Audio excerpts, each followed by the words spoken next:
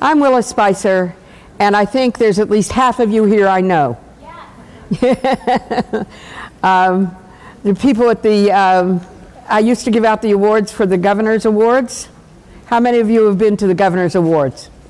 I know you all. I, um, I said this morning that I was introduced recently, and uh, the person said, This is Willa Spicer. She spent 50 years in education in the state of New Jersey. And I stood up and I said, Not a chance. I did not. And then I sat down and I figured it out. And I have spent 53 years on education in the state of New Jersey. So if I don't know you, you're probably young, which is kind of neat. Um, I, uh, now that I've left the state, I have um, a little more freedom to say what I want to say. Not that I didn't do it when I was with the state, but it's a little easier now. So I, uh, I will take every opportunity to try to tell you the difference between what is and what some people think should be. And you, unfortunately, ladies and gentlemen, in this DGO problem, SGO problem, is that you have a lot of people telling you what should be. Some of it required by the state, and some of it not required by the state, and some of it required by your district that makes no differentiation between what's required by the state and what's not. Now, I don't know if any of you have uh, done any look at the SGOs. Let me ask you first this question. How, let me see who's here. How many of you are um, elementary school teachers? Ooh, secondary? Looks like all of you are both. uh, when I use secondary, I mean middle school and, and high school. Middle school, uh, maybe middle school separate. It's always harder. Um, did, it, did I, is there anybody else here besides that? That, I, that doesn't fit into some sort of category? Students. students. How many students? Oh, I'm glad to see you. You are our hope for the future. Listen carefully. we, we really have a lot of hope for you guys. How many of you are first year teachers? How many of you are non tenured teachers? Okay, well, you'll make it.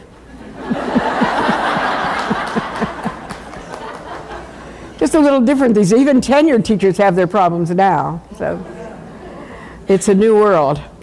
Okay um, how many of you have been in a meeting sometime in the last since let's say since summer that deals with sgos oh. Oh. How many of you are carried in with you today an sgo already done and already approved oh, that's a little different. I was really worried there. I thought, oh my God, it's all done. I should go home. Okay, uh, this is what I'd like to do today. I would like to make sure that everybody understands what's required by the state. So everything else that's not required by the state, you know is required by the local district. And if you think there's something wrong with it, that is, the local, that you think the local district has made a mistake of some sort and really doing something, that you can complain to the right people. So then you complain to the state. Sometimes the local district thinks things are done by the state and they're really not. So that's the first thing. Then I would like to actually produce a uh, SGO. Uh, give you a partner to work with. Make sure you've got somebody to work with because um, uh, you, need, you need somebody to talk to in this SGO business, but also um, actually start to develop one so that we begin to see what they really are. It's one thing to talk about them, it's another thing to see how they actually work out. Uh, I, would I'd like to take questions as we go because I hate to have anything laying out there that you don't understand or something's at odds and you wait until the end and then we don't get to it. But you have to allow me, if it's something I'm going to get to later, to say to you, wait, or we can't deal with it now, or see me afterwards. But I'd like to take the questions because it's silly to be at a workshop like this with this huge number of people and not be able to get your questions out. So that's the agreement we'll make. Now, to get here today, I went to the wrong hotel. And when I got to that hotel, I couldn't get into it. So, so I went on the turnpike all the way to exit 8A, looking for the right from 9 to 8A. And I know that there's other people here who can identify with the um, directional challenge that that shows.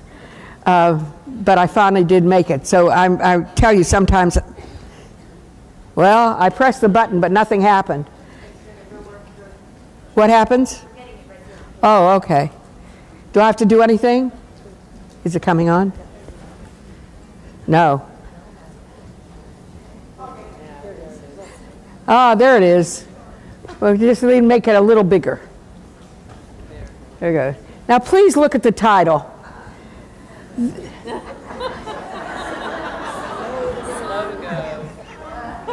How many of you know what an SLO is? How many of you have written student learning objectives? Okay, this change to this change to SGOs has some differences in them, but they are essentially the same thing. They are basically the same thing. In New York State, they've never changed the name. They still call it student learning objectives. New Jersey's changed the name, and now it's student growth objectives but they are the same thing. There's some differences that we'll talk about, but essentially they are the ways we touch student learning. Now let's see if this works. Ha ha! there we go. So take a look at these, at, at what the, um, the definitions are. Long-term goal the teachers set for groups of, of uh, students. Um, now, long-term goal is not exactly the best words. They're long term objectives.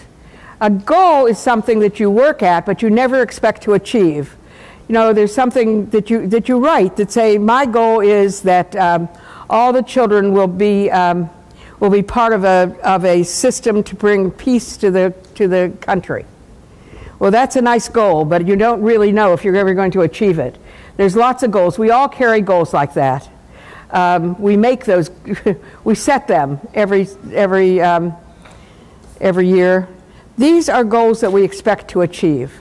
And they mean that there, there, there's some expectation on our part that that's what we hope for for the children that we see.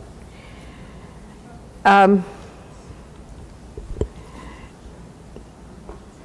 please note it can be for, group, for, for groups, of, uh, groups of, of students, specific and measurable how many of you are sitting on a goal now or an objective now in anything that you're teaching that has a specific and measurable outcome? You could say what it is. You, you, it's got something that you could measure. Not very many. So that produces some difficulty. That's the first part.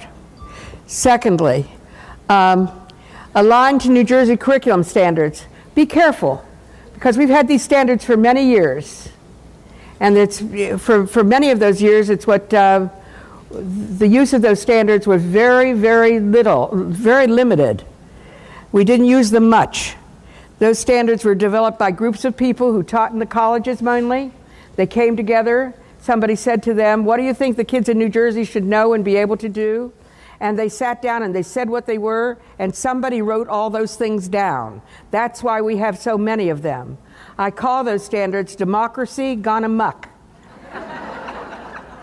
because nobody argued. Once you had it down there, it was there forever. I was just saying at lunch. Where else would you find in New Jersey standards right now in social studies? There is a standard that says all the students in the state of New Jersey should be able to um, understand and talk about the Han Dynasty. Now, that's because the guy that was on that committee was from Rutgers and he taught the Han Dynasty. and that lives to this day, though I have yet to be in any classroom or see any curriculum, and I've read thousands of curricula in social studies that has anything at all to do with the Han Dynasty. When this talks about what, what objectives you're going to measure, it's up to you, and we really have to work about at what's worth measuring. This is the question we're going to ask ourselves over and over. Um, based on reliable student learning data. That means you have to have data before you measure and after so that you can deal with growth. These objectives have to deal with growth. Now, that doesn't mean you have to have a number. It doesn't mean you're not allowed to exercise your opinion. It means that you have to find some way to deal with growth. And we'll talk about how do you deal with growth. And finally, well, first part, it has to be ambitious and achievable. I love that part. I can't think of anything anybody wants to do every, anywhere that isn't achi- ambitious and achievable. And I'm not sure that, sure that those two words really go together very well. It may be ambitious, but you, nobody's going to be able to do it. That's good. Or maybe achievable, uh, but it's not worth it. It's not ambitious at all. We talked a little about it this morning with the um, uh, um, people with it, uh, the supervisors, and we'll do that again. All right, this is the actual language from the, uh, from the book, the material. It says that you have to have one of these, uh, two of these objectives because you're teaching subject matter that does not have test data. It doesn't have any standard test data. And what it doesn't have is S, it doesn't have any um, well, it doesn't have any test data. So you need two. By law, by, by, by rules, you need two. How many of you are, do, are being asked to do more than two? Not very many. How many of you are asked to do only one? Well, the rules are you're supposed to do two. Uh, the people that have test data behind them are asked to do only one. So it depends on what you do. And then it says that they, um, that they must be checked by the principal or his or her designee, which is sometimes the uh, supervisor, sometimes people on a committee, and that um, the supervisor will review the scores. Question.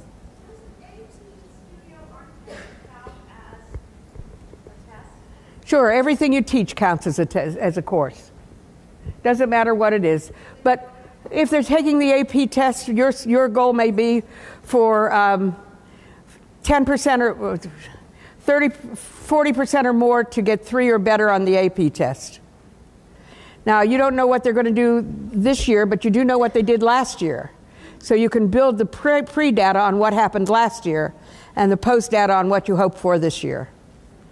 Now, before I go any further, I want to talk about the big elephant in the room. the scoring is a big elephant in the room, and after this, we're going to hold it and let it go. But you have a choice in how you look at your, at your SGO. You can be ambitious and write an SGO that, you, that, that pushes you, and then it will be harder and you're more likely not to reach it. Or you can be, um, uh, what was the other word? What was it? achievable, and you can write it so that you know you can achieve it because you already have it, or you know that it's possible, and then you're going to look terrific. And that's the problem. I had a teacher explain to me today, last week. This is a teacher I know well, and she's teaching in a special ed classroom. And she said, I am trying to teach the kids cause and effect so that they can use the technology. If they don't understand cause and effect, press here, you get this, do this, you get that. If they don't understand that, they can't use the technology. So I use a whiteboard and I teach them in this way. And, she blah, blah, blah. and I said, and how many kids do you think will be able to do that by the time you finish? These are some kids can't say their names. We're not talking about, we're talking about profoundly uh, handicapped kids. And she said, I think 90% of them will be able to do that on the whiteboard and they'll be able to transfer it into a smaller piece. I said, Well, there's a good SGO. You can just write it that way and that'll be fine.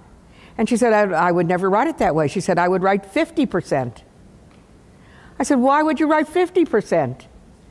If you think 90% can do it. And she explained to me. She said, At 50%, my uh, supervisor is going to look at my work and say, She has exceeded her standard. And I will be a distinguished teacher. If I write it at, 50, at 90%, I may even reach my goal, but I will only reach my goal. And it will not be that I have exceeded my goal. I will only have reached my goal. And so I will not look as good as I would look if I hit, um, if I put down 50%. I said, oh my God, we could set back education before we even begin. Because the problem is, if we all do that, we will affect the expectations for these kids so terribly that what we want for them will be lost in our own statistical stuff. So I call upon you all to be professional teachers, to hope for your kids the most you can hope for them, and to be sure that you write that down no matter what, that you're hoping the best that you can hope for them. Then you work with me for the state of New Jersey and everyone else we can talk about in advocacy to make sure that that doesn't happen where the lower, the person that expects less gets better uh, reviews than the person who expects more. That does not help us. Now I stop. Yes? You have to shout because my hearing's not so good in here.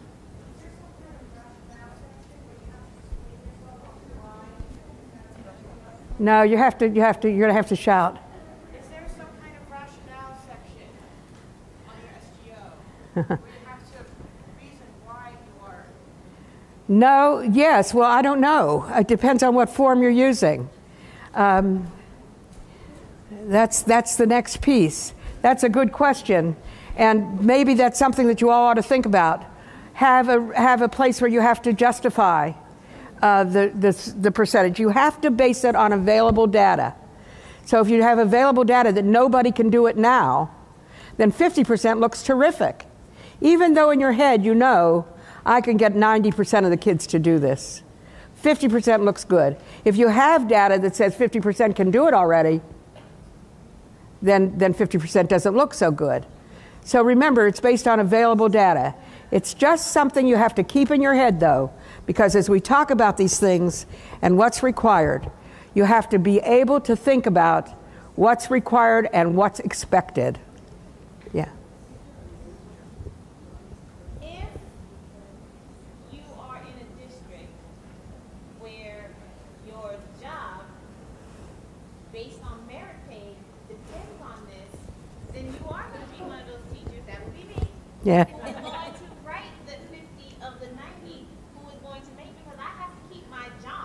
Exactly. You heard her?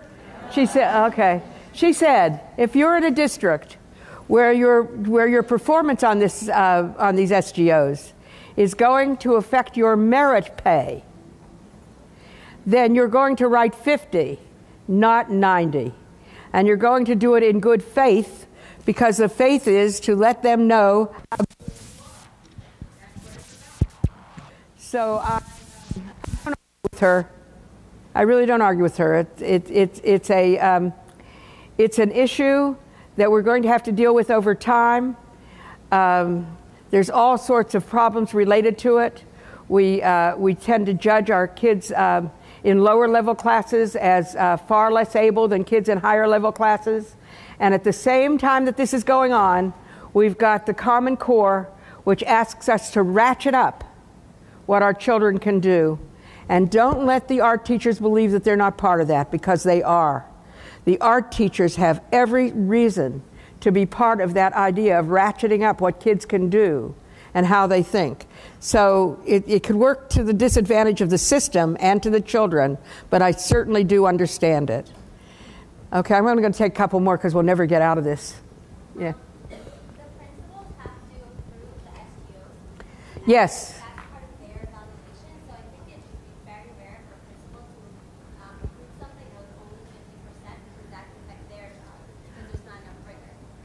Yeah, well, that's good. I mean, if we have really good principals, we'll get some. She's saying that the principals have to have to uh, prove it so they can watch over this kind of thing, and it can be part of their work.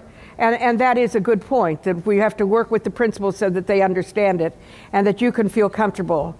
We'll talk again. We'll talk more about how you're judged when we get further along. But when, as soon as we get to the idea of having a scored SGO, we hit this ambitious and, and uh, achievable piece. There's somebody over there that wants to ask a question. Oh.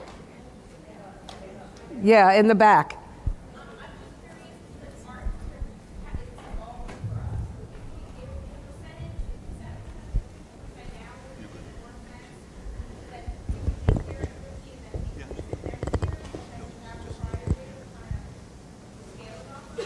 It depends. When we talk about the various ways that this can be done, in some cases, yes. In some cases, no. In some cases, the, the preliminary data you have says you can do more than that. So, you know, it depends on what we're talking about.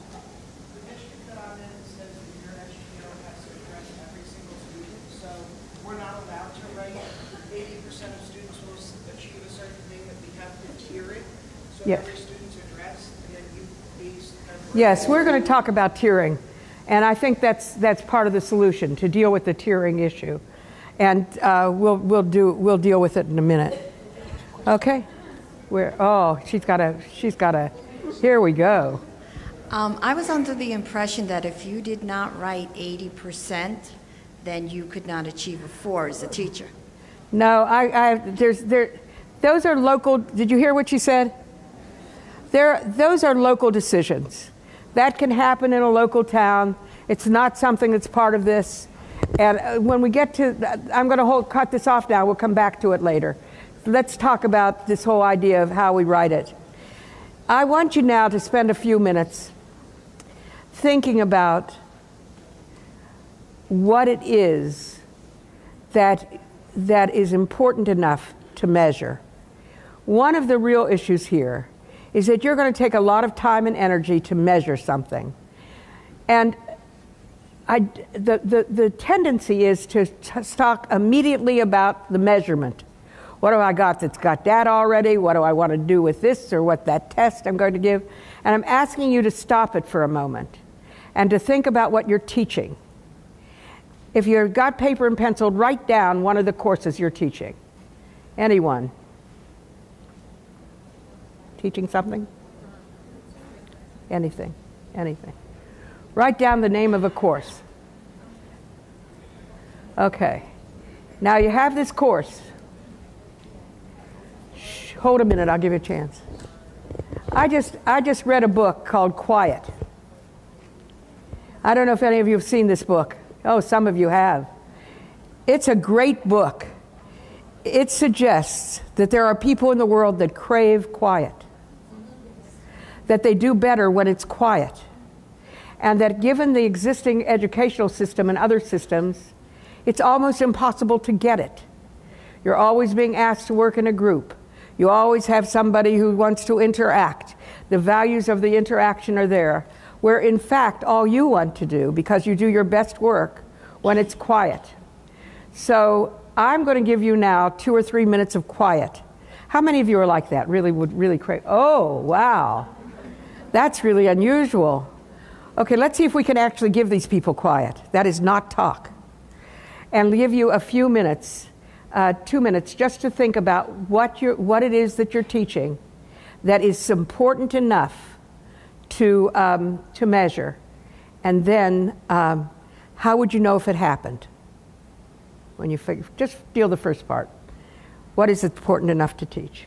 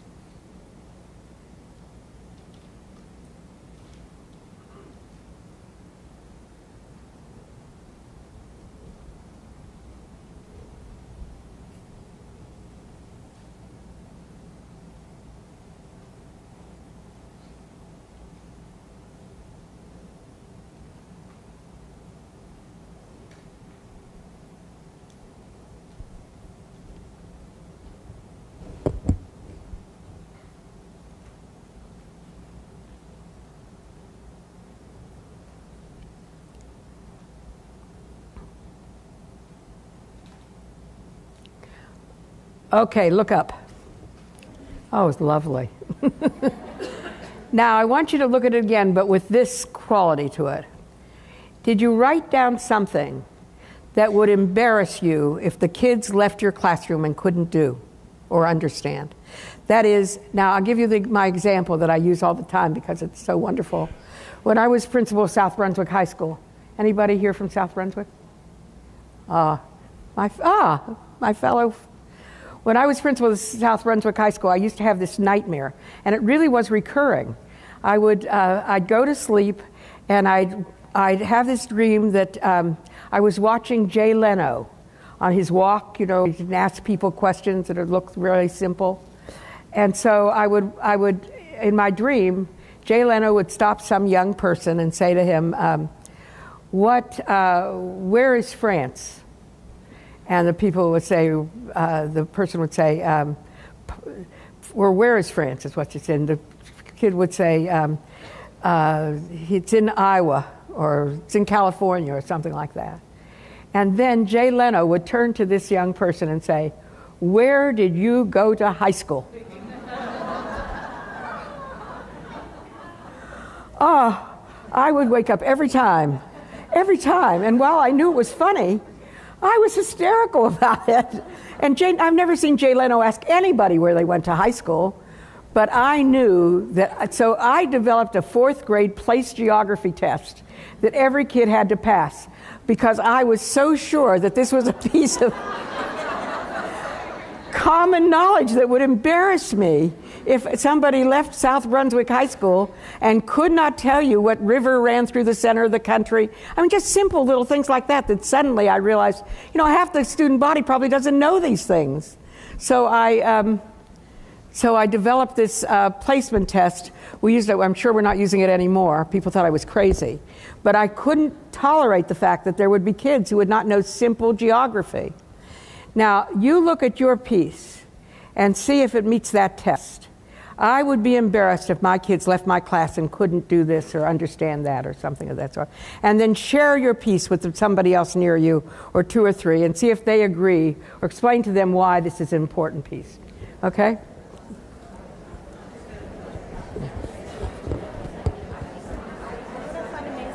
We've got well over 100 people here that basically do not know what they're doing. Like yes. the state passes this thing down and they don't really explain what it was. Last year, at the end of the year, for maybe about an hour in a faculty meeting, they glazed over what this thing is. The school year started, we still have no idea what they expect from us. And I asked two times for my principal, what do we need to do? And they said, don't worry about it right now. We're going to go over what it. What district in, are you in? We're going to go over it in October. I don't want to say, I don't want to get myself oh, in trouble. Oh, well, it doesn't matter. But, like, it's amazing to me that they keep asking us to do things and they don't even know what they want us to do. Well, that's Not one only of the district, but the state. The state, it's a, somebody's doing their job at the top, filtering it down to the bottom. Well, that's make it look like they're doing their job. This uh, this is a weeding tool. That's what this is. The, All uh, this stuff is documentation that we're putting against ourselves to show what we're doing. The the things that are required are very few. So it can be done easily. You all have SLOs. Danielson evaluation tool. Yes, it's that's exactly lot. right. It's, it's a lot for a teacher that's already doing a lot. Yes, it is. I mean? But you can you can you can combine them because you can use them. I'm not worried about it. I'm doing what I always no, did. Exactly. I know I'm a good teacher. If they were going to bring you down, they're going to bring you down anyway. You'll have to. The, the real issue here is the the ability to measure. You know what I did? This was my whole thesis in grad school. I, I wrote a whole thesis on this, on assessment and pre, pre-assessment and assessment, and at yes. the end, documenting everything. I did it for my oh. fourth graders in their journal. And my whole fourth grade oh. class, I documented it in their journal. Oh, so that's before, good. when I asked the, the principal, I said, what are we supposed to be doing? She wouldn't tell me. I didn't want to fall behind on my paperwork. I went and did it on my own. Yeah. I made up a little test for them, and I had yes. them a picture. Or you could use you could use the journals. Yeah. The journals are very good for this. And talk about that a little bit.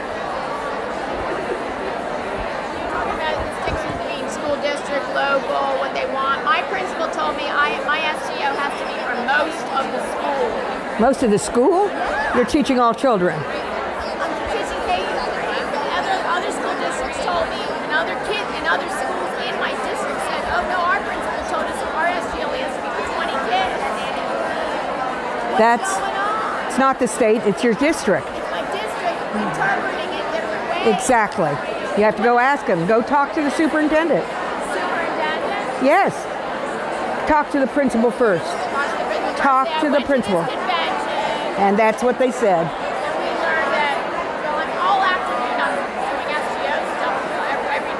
Yeah. No, in fact, it's really not even required. I'm going to put up the. That's the next thing I'm going to put up. I'm, I'm going to talk. I'm going to talk about the. Uh,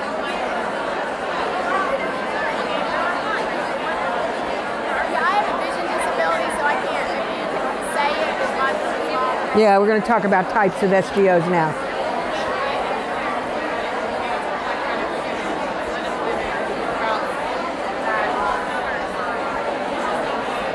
Now watch this. Okay, time, time, time. Oh, clap, clap. They're all secondary people. okay, hold on. Hold on. Oh, good. If I can't get you quiet, I can't do that. That's good. Now, let me just take the next step and then I'll take questions. The next thing you have to look at, now that you, did everybody have, if, if, you, if people didn't think it was important, you changed it, so you've now got something that it, you've discussed with people and you could defend as being important for your class? Anybody not have anything? Somebody back there? Still doesn't have anything? Oh no, he's taking pictures. uh, okay, now the next question is who needs to be able to do this? Now you've got something that you want kids to do. Now here's the problem with that. That's not such an easy answer as it appears. Because you have in your class kids who can already do it. Now, let, let's, take a, uh, let's take an example somewhere. Give us somebody's got some simple thing. Um, kindergarten. Uh, I want them to be able to cut on the line. okay. She, he, she wants them to be able to cut on the line in kindergarten. Yeah, you can, you can clean it up, you know. What? All right, so now have you pre tested them? So you've got one who can, and you've got to have at least three or four who can almost, close, and then you've got a whole bunch who can't. Yeah, okay, now let's take one from um, an, older, an older group. So that was, uh, can you get her in the back? Yep. It's really hard to have an interactive group when you've got several hundred people here. But. Hi, I teach elementary school, but uh, color theory for my fourth, fifth, and sixth graders. Yes. So they know the primary and secondary colors, because that's something I'd be embarrassed about if they left and they didn't know that. Okay, that's perfect. So now how many kids already know? Let's say you're talking about fifth grade. Yeah, you know, I actually, I was just explaining. I did a pre-test in sixth grade, and I really thought they would do really well because I've been teaching it since third grade. I was amazed. I mean, I didn't want to do like, you know, breeze by, but I thought this is something they should know. Yeah. I had, I had maybe three 100s, uh, and it was only 10 questions. I, I had, most of them were scoring 40 and 50, and then I had a couple that got like nine wrong. And I was like, who was your art teacher last year? And I mean, I knew it was me, but I, I, uh, I don't, I could not understand how they couldn't just get the uh, basics. Uh, I love that. So that is yeah, the best yeah, story. I got, I got, a lot of work. Yeah. I will tell that story everywhere because how, how many of us have as a situation that's what happens then is to say, who was that teacher who didn't teach that kid anything? How many times have we gone through that? I have a poem, I wish I brought it. It's called Who's to Blame? And each group blames the next one until finally gets down to the kids, to the kindergarten teacher, and she says, uh, "It must be the family's problem." and then you hear, then then there's a, a, a, the last thing is from the father, and he said. Um, uh, that kid doesn't know anything. He said, I guess I, I, I, I'm not sure that rascal's even mine. but that is so common. We all do it. I have a great um, story. Um, Artemus Ward was a, um, was a um, humorist during the Civil War. There weren't many of those, but he was one. yeah. And he was accused, he, he, they came to him and said uh, he had not done enough for the war effort. And he answered, he said, How can you say that to me? I have already sacrificed two cousins to this war effort, and I stand ready to sacrifice my wife's brother. But that's where we all are. And here she's, a, she's the teacher. How fortunate for her. She's got baseline data. She found out where they are, and she can start to build her stuff. Yes. I just wanted to add to what you were saying. Is it, is it worthwhile to ask questions, written questions of the children, or is it better to give them the paints and then ask them the question? Well, it depends on what you want to know. That's always the question of what you want to know. She wanted to know if they remembered what she told them, as, however she taught it, whatever experiences she gave them. She wanted to know if they could retain it. And she wanted to know if they could retain it intellectually in their heads. If she wanted to know if she could use it, if they could use it, that would be another question. And then she would have to have paints. So it doesn't matter as long as you're clear about what you want. The secret of this is to, to have something you care enough about that you know what you want, what you want for these children. And then to be able to find out whether, in fact, they have it or not. Over there, or somewhere. Um, while, while she's getting to them. That, that's the hard part of this. It's, we, we think the hard part is the measurement, and it is. But the real piece of the measurement, you put your finger on it absolutely totally, is what do you want to know? Can you be specific enough to know what you want these children to be able to do so that you can properly measure it? Hi, um, I do have a question about what growth is because we had a similar uh, test that we came up with for our students, like she, she just revealed. And we were told by our administration that that is not growth. That is telling you how they scored on a test. It doesn't show application. It doesn't show that they know the information. It's just you're regurgitating. It's not growth, and therefore we can't use that as an SGO. So we cannot use a test like that for an SGO. Well, there's, there's a rule made at your local district. Do you, do you heard her? So you know that it's a rule made at the local district. They want to make that rule. That's fine. So if you, you have to explain to the principal, I, at the moment, only care if they can remember it. Then I'll care about whether they can use it. But the principal says it doesn't count if they just remember it. We want to make sure they can go further. Superintendent. Superintendent, whoever it may be. You can say, okay, then we'll develop a, a way to find out if they can use it by developing a hands on test, as suggested over here, where you ask them to do something with these, with these uh, colors that show they understand the, the uh, primary and secondary colors. This is no, there's, no, there's no rule here, there's only good sense here. And it all builds from the same thing. What do you want for these children? Yes. My district is unhappy with skill and fact based SGOs. They're looking for more um, abstract thinking skills and um, uh, critical thinking. Do you have Okay. any suggestions? Sure. That's easy enough. Just make sure that you don't ask kids to think critically about something they don't know anything about.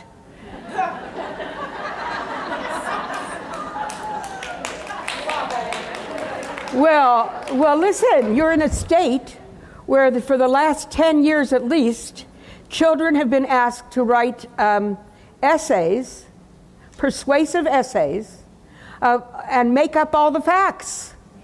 They've been asked to write, you, should there be this, should this happen or that, and there's been no fact. Now, I spent a lot of time because I was at the state dealing with this question on where would that skill be needed? Where, you have, you, where we ask you to be persuasive about something about which you know nothing.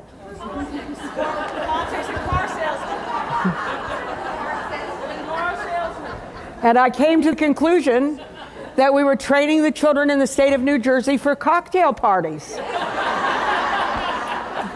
I couldn't figure out where else one would care to make a, that we can make an argument where we don't know anything. So you want to teach children to make an argument, but you contain the ability to teach them how to build knowledge. And if you don't have if you don't teach them how to build knowledge, they will not be able to go forward. And I say that because the Common Core has at its base the ability to read text closely. And the word text can be used for a picture, that is a text. For an arts performance, that's a text. For a, uh, for a uh, dance performance, that's a text. And you want your children to be able to describe it, to be able to analyze it, compare it to something else or to each other. And then you want them to be able to develop an opinion about it, an argument. I think this is good because, or I, uh, my favorite question, I have a arts question, I'm going to use it again this week um, where you let children describe three or four pieces and then look at the comparison of them. And then you ask kids the following question We want to hang one of these pictures in the school. Which picture would be best for this school?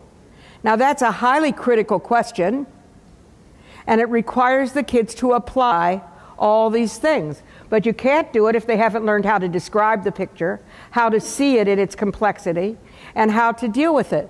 I, you know, I, I have a hobby horse which I get on every once in a while on the issue of training audiences. If you folks, if, if all of us, do not teach our children how to respond to art, performance, and music and, and dance, we will have no audiences. If you go to a, to a, um, to a symphony orchestra concert, you're lucky if you see anybody under 50. If you go to a museum, you see children because parents drag them, but they don't necessarily know how to look at what they're seeing. So the issue of critical thinking is of great importance, but it is not of more importance than the skill set. I mean, we want those kids in kindergarten to be great artists, but we want them to be able to cut first. Then they can cut some wonderful shapes and they can do all sorts of free things. But first, we want to make sure that they can cut. So we build these things so that we're sure that every kid has got the bottom layer there. If they don't have the fundamental things, we're, we're doing only half the job. Yes? Uh-huh. My principal told me I had to have a portfolio for every student in my school. Oh, that's nice. 570 students. Oh, a lot of And portfolios. I have, a, I have to have an SGO for every grade level. But I think, but he also sits there and says to me, they're just handing this down to me and I'm not sure what's going on yet. So um, um, now, You can write an SGO for each of your classes, or you can write an SGO for all of your classes. one that can apply to all of them? If you can. Maybe you want to do one for K to 2, and 3, 4 differently. You, that's what's on the board now. This is the population this thing serves. You have a course and you've written something that's of importance that you really care about. We have to figure out how we're going to measure it. But before we decide how we're going to measure it, we have to decide who's it for. Now, there is no rule, if you notice, that says it must be for all the children. There is something deep in the heart of principals that makes them want to do something for all children. However, it's their call and they approve it, so so be it. Wait, wait, wait, wait. Let me get at least a few. They what's called for is that some the next thing you specify is what group of children is this for. Now let's take the colors out here. Let's assume it's okay to memorize something, like the multiplication tables or the primary and secondary colors. Let's assume that. Now, she's got one kid who can do it already. So let's assume she's got 10 kids in her classroom, and she's got one that can do it already, and four that can almost do it. So she can have a tiered, a tiered result. One kid already can do it, so you don't have it, will achieve 100%. You feel pretty safe in that. The next kid, after four months of instruction, uh, the next four kids will get 100% on the test. Then there are six kids, or four, four six, five, six kids. I lost track. The rest of the kids will be able to uh, will be able to get them all correct uh, in um, in six months, or they'll be able to get 90% of it correct in four months, whatever you want. That is a tiered population. All the kids are not going to achieve the same thing because they don't all start out at the same spot. So you can do a, a, a, a SGO that deals with some children, and it's, the only trouble is it's got to be built on preliminary data. If she didn't know, even though she thought she knew, she would probably be wrong because if you did what she thought she should do, she would have been, she would have had everybody doing it. She would have thought they all did it already. She taught it to them. Why wouldn't she think they all could remember over one little summer? But they didn't remember. So you have to deal with some data. Now look at this. Just let's look at this to make sure we're clear.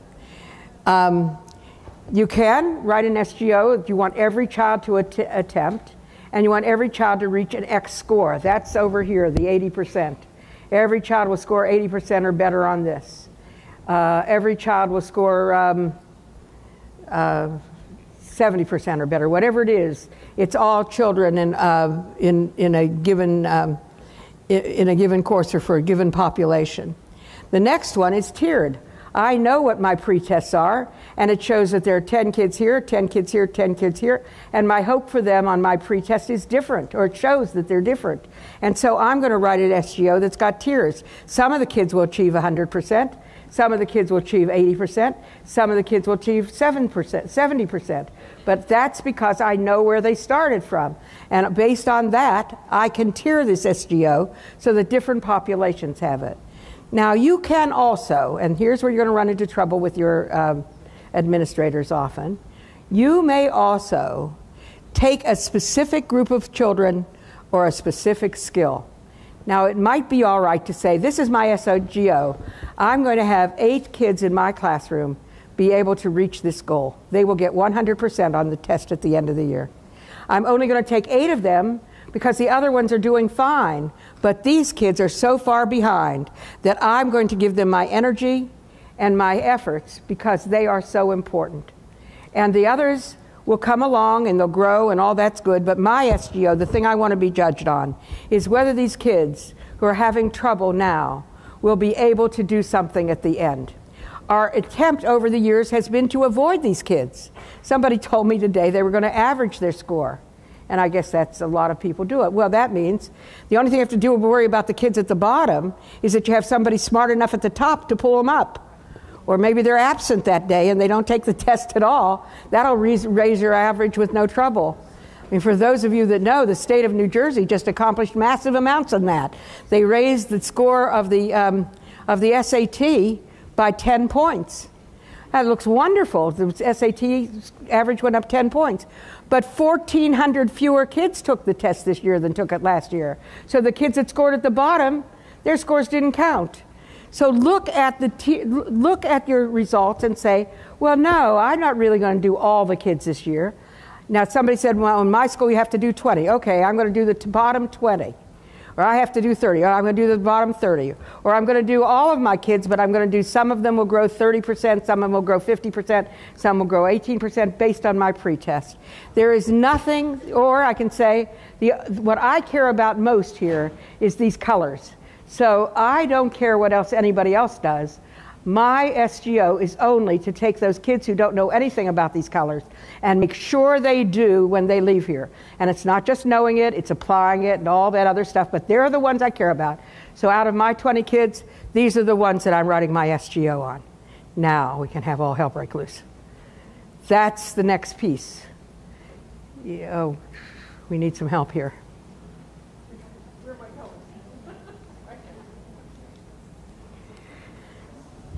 How many of you have data in front of you now that says, I can't do that? That won't be allowed in my school? Oh, good. What? Can you just clarify? Because in my district, They're struggling trying to understand if I am a high school art teacher and I teach several different courses, like maybe I teach photography, I teach uh, ceramics, do I need to have two SGOs per course? No, but you need one SGO for each course. You do have Well, I don't know. I, no, it depends on your district. You need two SGOs for yourself. And how you build them is really up to you and your district. Okay. Whatever rules are there. Your district does it differently? Okay. Okay, in her district, they choose one class and do two. Yeah. You can do it any way you want as long as your district tells you what to do, it doesn't matter. You need two of them to go forward. How you write them, the way that you want to write them, I want to write something that affects all the children, so I'm going to take my. Do you have a survey class? Whoever it was that was talking. Hey, uh, where's the person that just spoke? do you have a survey class, a class that affects lots of kids? Yes, you might want to take that class because that's the one that needs you the most. I mean, and if there's rules in the school that you have to choose one class or you have to choose another class, uh, that's the way it is. And what you do, now, here's what you do you do what you're told to do in terms of that. And then you do the kind of advocacy that good teachers have done forever. You show the impact of that. You talk to your principal about the impact. And you talk about the effect of it on you and on your students so that you're, so that you're arguing from, with some data. And we do that, all of us, sooner or later. But before you do it, try it. Then you have to put your first ones in by November 22nd, and then you have until when is it? February 15th to revise them. Now, this is what I told the people this morning, and I repeat it to you. Every teacher is a developer. Sometimes you wonder about that, but they are. You can't be a teacher and not a developer. And what makes you a developer? Well, you try things out and then you revise it to make it work. You do not have the capability of getting it right all time out of the head, uh, out of, the head of Zeus. You try it and then you do, change it because this happened or that happened or you found out something new or you went to a workshop or something happened. That makes you a developer. I said this morning what's true. Not all teachers are designers. That is, sometimes they have trouble designing it. When I tell you you have to design an SGO, that's trouble. You need some help. But you do not help, need help in being a developer. Automatically, you do what you teach your children to do in art. You should be the best developers in the building because you teach your children to do that in art and music and theater. Try it, practice it, make it better, change this, I'll give you notes, whatever it may be. You are experts on the ability to try something out and change it. Do not fight with the administration until you've tried it. Then you will have data, and then you will be effective. But you just have to be careful that you're making the argument in, on the terms of the children, what's best for the children in this school. And when you've done that, the question always is it's never, I'm going to go in and tell, you should do it this way. It's always, what do you want for the children? This is what I want for the children. Is that what you want for the children too? And if we're agreed, then we should think about this or do that or whatever it may be. I told a parent when I was a school board member, I told a parent who did not like the way we were doing something in town, I told her to move. what are you going to do? I mean, okay, you don't like it, but this is the, what we think is best for the children. If we're in disagreement about what we hope for the children, we cannot work together. If we're in disagreement about what, if we, if we agree on what we want for the children, but we want to do it differently, then we can work it out. We can work out anything. So I'm asking you to try it, whatever the rules are, and then make sure you're armed with what's required, and then um, do the fighting. Yes. Our district didn't quite tell us exactly what was involved with this uh, before. They kind of threw us into it. So I'm wondering, I already made up a test for my students and I had them draw a picture so I'd see exactly what they did when they walked in the door on the very first day. But I'm wondering, is there any paperwork that's in between that has to be handed in? Oh, yes, you're going to have to hand. Now, it depends on what school you're in. It's a good question. She asked, what paperwork is involved with this? Now, how many of you have received from anybody who's working in this area a six page form to develop an SGO? And that's because, now you can say Willa said this. This is a, that's because the state of New Jersey has put out a direction book, a guidebook for SG, developing SGOs. Many of you may have seen that. It's very well written. It's got a lot of good suggestions. But it says right in the front of it the only things required by the state are the things written in red. And in that 36 page book, there are three paragraphs written in red. All the rest are recommendations from the state about what they think would make a good SGO. Part of those recommendations is that six page form. It may not be the one you think is best.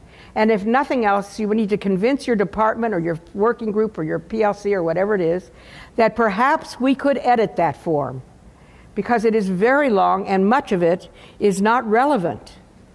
So you need to see whether you can get permission to edit that particular form. Otherwise, it takes you twice as long to do what I, that I'm doing now. We have a question right here. Yeah.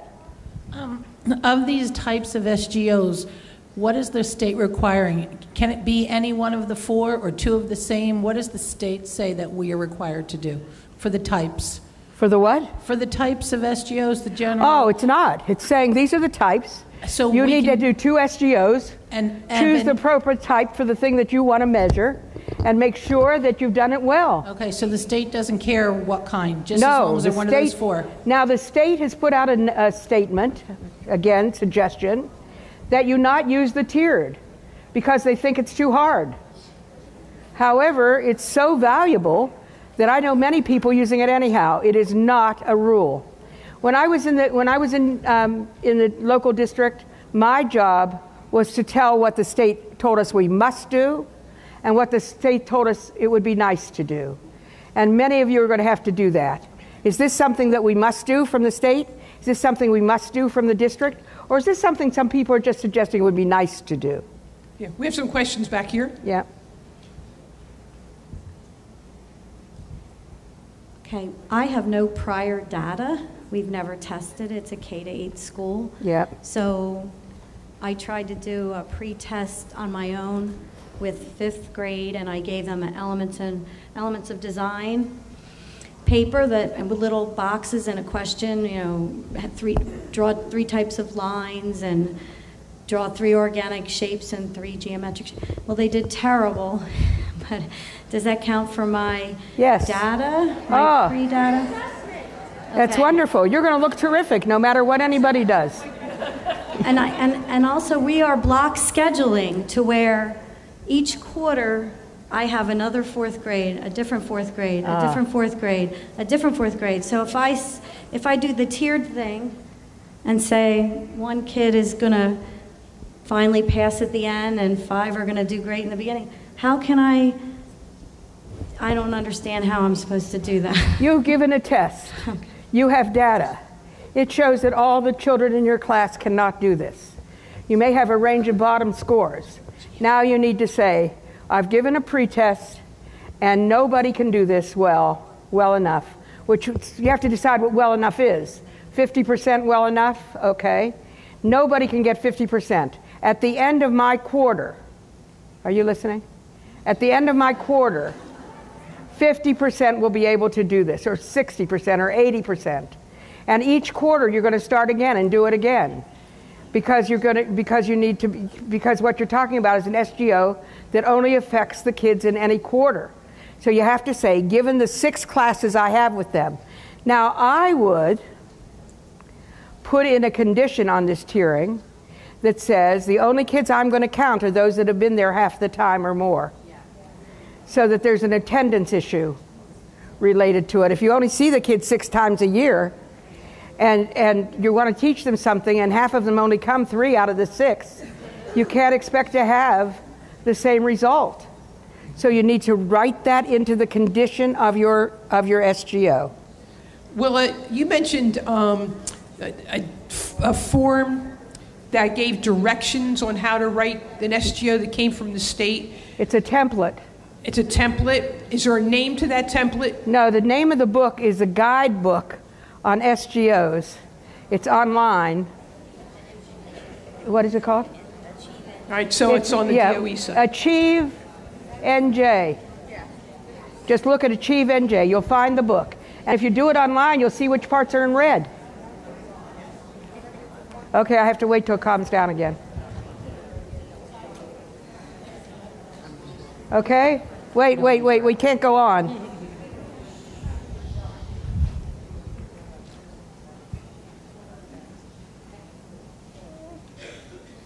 You- We have a question here when you're ready. Okay. Hi. Um, in my district, well, in my Wait, wait, wait. You don't, have, you don't have everybody listening to you. Sorry. and I'm hoping this works for a lot of the secondary, we've just submitted and had our pre-assessment approved. So at this point, we've decided, because the majority of us are trying to teach the elements and principles of design, right? Mm-hmm. So that we're specifically using critique. And that we are hoping by our lessons we do daily, we're obviously teaching specifically line, shape, form, et cetera, and the principles. If giving our pre-assessment and having them without the knowledge of critique, they tend to only want to say what they see. They Right. don't go into the inferences and the evaluation of it. And that through the year, as we're teaching them, and then giving specific four lessons on description, evaluation, et cetera, that by the end of the year, we hope that they will be able to look at a picture, and not only from us teaching about critique, but also by each lesson teaching each of the elements and principles, that then obviously their first essay would not be very well rounded, but then after all those lessons, at the end, they should have a very strong critique. Yes. Now, what do you have to do to make that work on a on a uh, on a goal? Uh, you know, on an SGO, you need to be able to say in your in your goal what the five elements of design are that you care about, or six, or whatever number it is, and what they are. Then you just simply have to count up how many of them show up in the preliminary critique and how many of them show up in the next critique so that you begin to see this number growing. Now, because this is a, a because the way it's designed, the, this piece, you have to say, given the, the pretest and the critiques that we have, um, either all of our kids will uh, get at least four out of these eight elements of design, or six out of the eight, or whatever you want, or you can say, um, the kids that could do nothing will be able to do 40%, and the kids that could do more will get 60%. You can do it either tiered or all, but whatever you do, you have to be specific enough that you're not kidding yourself when you get the next piece. Oh, this sounds a lot better than the beginning. You have to be able to count. We've got some questions up front. That, okay.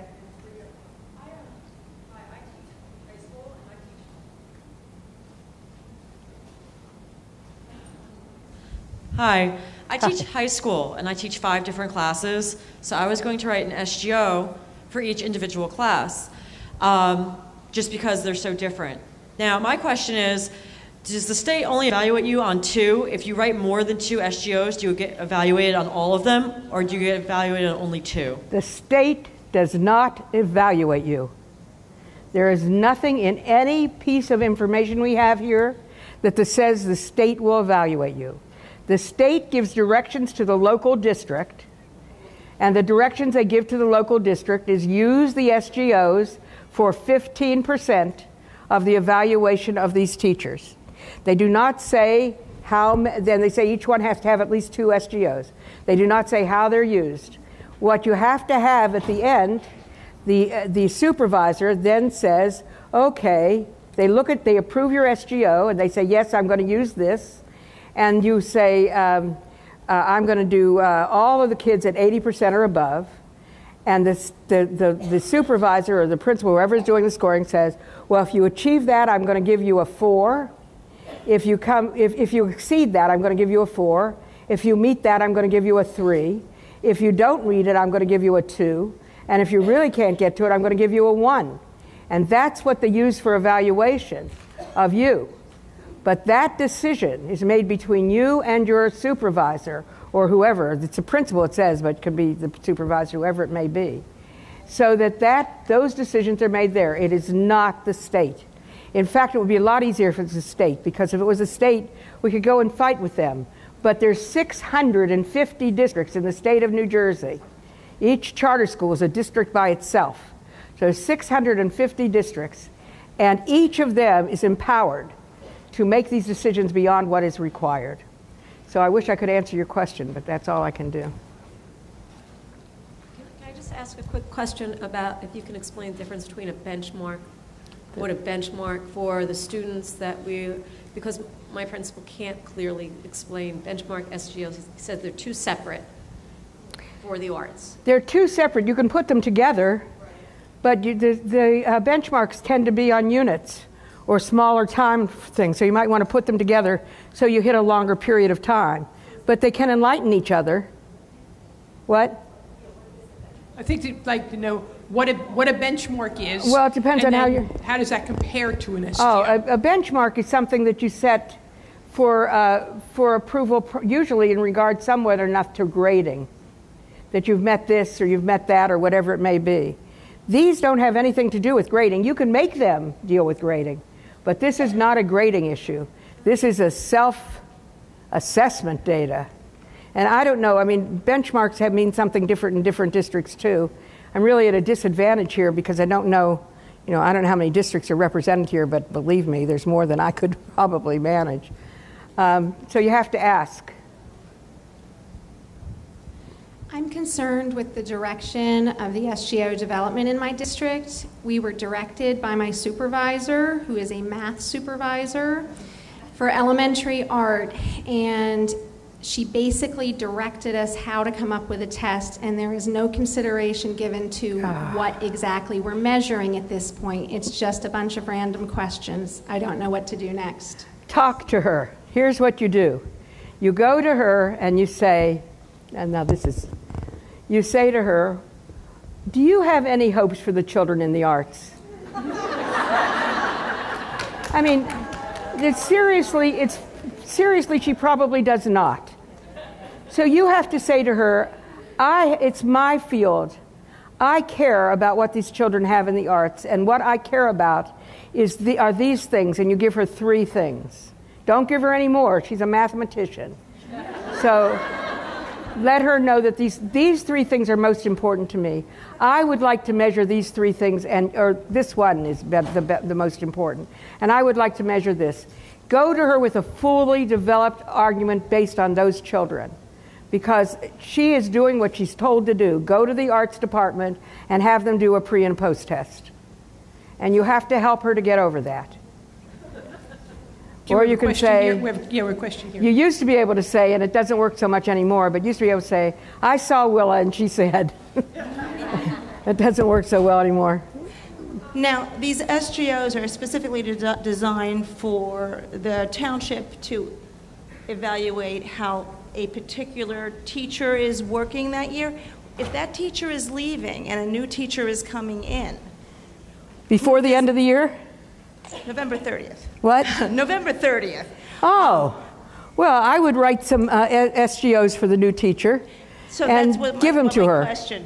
But Yeah. are they going to be evaluated on? No, somebody should go over them with the new teacher and see if they fit her desires or how it works. She has until um, February to redo them.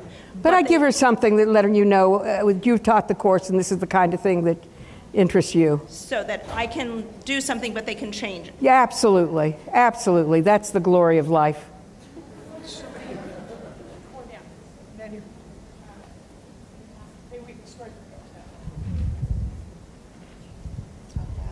Hi. Hi. Does the pre and post test have to be the same? It, it- should we oh, give a pre and post Yes, test? but stop using the word test because the last thing that you want is a test. What you want is data. So the pre and post collection of data should be the same. Somebody in the cl- that class before said um, they do self portraits and they're looking for ratio and proportion. And they've got four things on ratio proportion that they hope to see in the, in the uh, pictures at the end. So they have everybody do a, a self portrait at the beginning of the class. Then they mark them, not for the kid, just for themselves. And they keep them. And at the end of the class, they do another self portrait. And they expect to see these things now in the self portrait that they didn't see before. The use of student work in the arts and music and theater is really critical. In music, we had the people last time who wanted to um, do, um, wanted every kid in the beginning music classes to be able to read music. And so they've got a tiered thing where the kids look at music one way or another. Up, up, some of them can, some of them cannot. But there is nothing that says you have to give a test. Nothing. It says you have to measure. And measure, you know, if, if you gathered data from your art show last year, if you'd gone around your art show and saw the number of things you had and the qual- had a measure of the quality, you could say, in next year's art show, I expect to show this. Most of you haven't done that. But you do collect the data at the beginning. That's wonderful.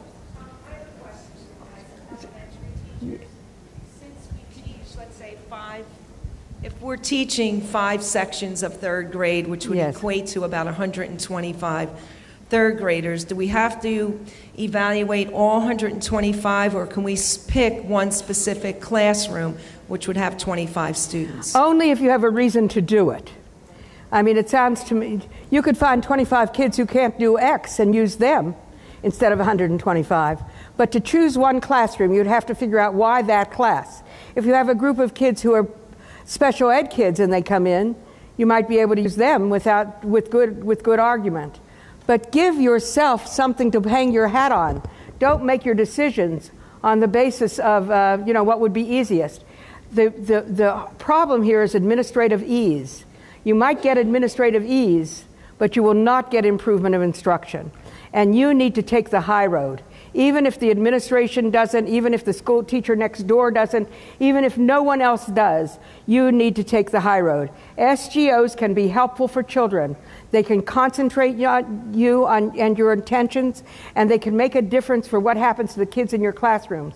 But it means that you have to take them seriously as methods to focus, not as a method to get over the rules. Oh, oh is that how, that's how much I have left? Oh. Oh, I had Just- another question. Sorry. Um, just quickly, our district is really discouraging us from using portfolios or anything like that. We've, we've said this is what we want to do, this is how we want to measure them. We're willing to do all of this. No, we want a pre and post test. Test them on something, you can test them on third marking period. I want to see the numbers. That's all I want to know is the numbers. And we try to explain to them the population we has. We have our general students, we have bilingual, we have special Oh, ed, severely special ed mixed in with everybody. The easiest thing and the, and the best thing for them would be portfolios because then the children don't feel left out and they do see growth. Yeah, I mean, the testing with some of these kids, they, they're so ang- anxious over it, they get sick. Well, listen to my advice again. Do what you're told for this first round. Then go and explain why this doesn't work. Use the data, collect the data, and use the data you have. I mean, it could be that the, the, uh, the district wishes to have a, a definition of art that is nothing but the, the, um, the pre and post test with no, no importance at all. Why waste the energy? I mean, it's got to be something that you want to test, or at least you have some great desire to test, or you're not even a great desire, but it's worth, the data's worth something. Okay, I'm going to take, um, I don't want to hold everybody here. Okay. Um, oh, yes, this. Do you all know SMART goals? I mean, I can't believe everybody hasn't had a SMART goals lesson. Oh, I was afraid of that. The difference between, oh, wait, let me finish. The difference between a goal that says everybody's going to be able to um, jump to, to the, you know, I love these goals. Goals, I think I'm going to try to jump to the moon. And how, what I'm going to do is every day I'm going to go outside and jump a little higher. oh, I didn't make it to the moon, so what? That's, you, you get goals like that. Um, or you get something that has no goal at all. I'm going to give a test. What test? Oh, any test will be okay. Nobody cares. These are things that have no, um, no, no reason. And the one thing, if you write down nothing else, what you want your SGO to be is sensible. Make it sensible for the children. Make it sensible for you. Don't let it be off the top of your head. oh, she says with some. Um, this is the traditional um, definition of a SMART goal. It should be specific. We've had lots of examples. Um, you know, I want to know this, and this is uh, this is the specific thing.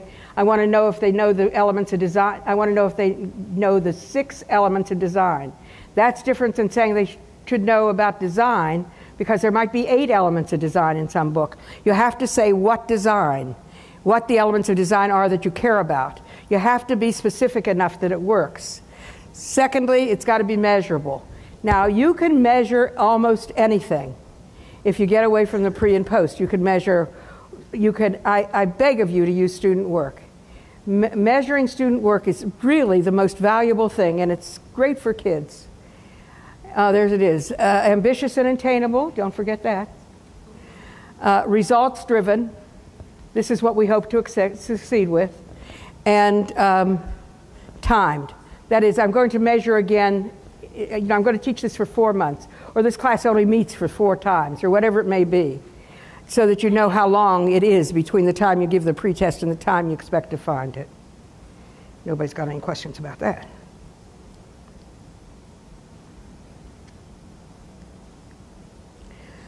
All right, now look at your SGO that you've written. I mean, you haven't written it completely, but you've got to start. And say to yourself these questions Is the content of your SGO important? If it's not, then do it anyhow. Keep a note for yourself and let the supervisors know I do not think this is important. I'm going to do it, I'm going to measure it, but it is not what I think is important. Now, if you're non tenured, and you don't think it's important. See if you can find something that you both will agree is important. If you're tenured, you have an equal problem now. So you want to make sure that you and the supervisor both have agreement that it's worth doing.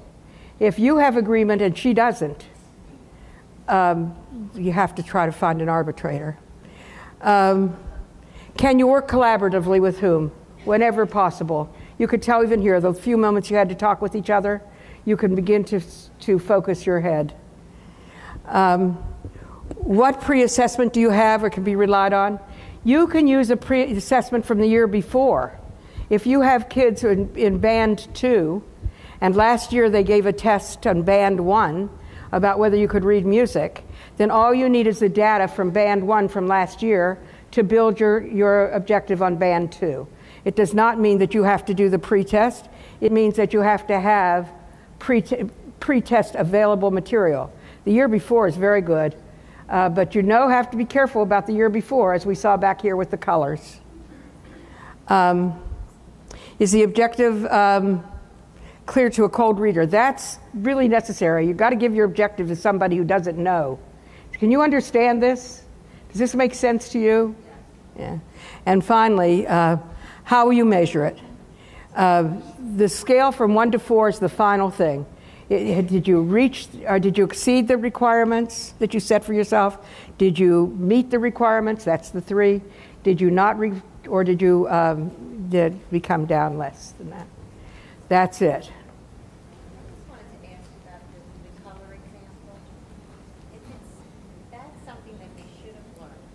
Yes. Yes. Yes, she asked, she said the color was something they should know. So since they should have known it, can you use it? Yeah, I mean, that happens all the time. They should know the multiplication tables, but they don't. So you have to use them if it's critical to you. No, it's, if it's critical to you, then you have to teach them those things. And the teacher that follows you should be able to count on them. You have to teach them what she knows now is she's going to have to teach it differently because whatever she did with it last time didn't work. They didn't carry it forward. Should these be small? Okay, I'm sorry. Should these be small or, or something grand, like a whole portfolio ah, by the end very good. I, I don't know. I, I tend, for the first time around, to keep them more manageable. But I think in the long run, they are meant to cover the most important things you have in your class. And I ask you to think about what are the most important things. Now, let me explain what that means. There are lots of little skills that you could test. Like, are they able to color a picture? Do they stay in the line, etc.? But what you look for is what's the end result of that? And that's what she wasn't looking for in the number. Sooner or later, I mean, in the, in the picture, what she, she wants them to know these colors so that they can use them, as you suggest, to do something, either to, to make new colors or to whatever she wants them to do. So it would be easier, if you can, to test on the outcome on the thing that the minor skills lead to. Let me give you an example. If you want to know if a kid can play the piano, you do not ask him to play his, his um, scales. Though you know that he needs those scales and you check them off in your book, yes, he can do the scales, no, he can do the scales, but it is not your overall purpose. If you want to know if he can play the piano, you listen to him play at his recital. You listen to him when he plays a whole piece and he puts these things together. And that's what you're looking for too here. You're looking for those times when they put together all these little skills to be able to do something with them. Now, it, as we begin to learn to do this, it could be that they're not going to do the great artwork. You know, you can't, if you want to know if they can draw, you're eventually going to ask them to draw. You're going to ask them to draw from at the beginning and you're going to ask them to draw at the end. But in the middle, you're going to check on a whole bunch of small skills that they need and begin to learn. And you're going to check on those. But if you can, you keep your SGOs at the broadest possible base that you can. Okay? Now it's getting late and I don't want to keep you anymore, and I'm very tired. So I'm going to give you a, my final uh, roundup for this.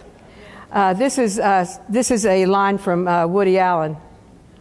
I, uh, I know Woody Allen's in disrepute, but uh, he's very funny. He, wrote, he once wrote something called the All Purpose Graduation Speech. And he said, This is a speech, this is a speech for those people that are going out to try something new that's hard, difficult, has conflict. Said, For those people, this is my hope for graduation. He said, When you're going out to try something new, there are always two roads available to you. One of the roads is filled with doom and gloom, complaints, obstacles, difficulties. He said, The other road is filled with total destruction. May you choose the right road. Thank you all very much.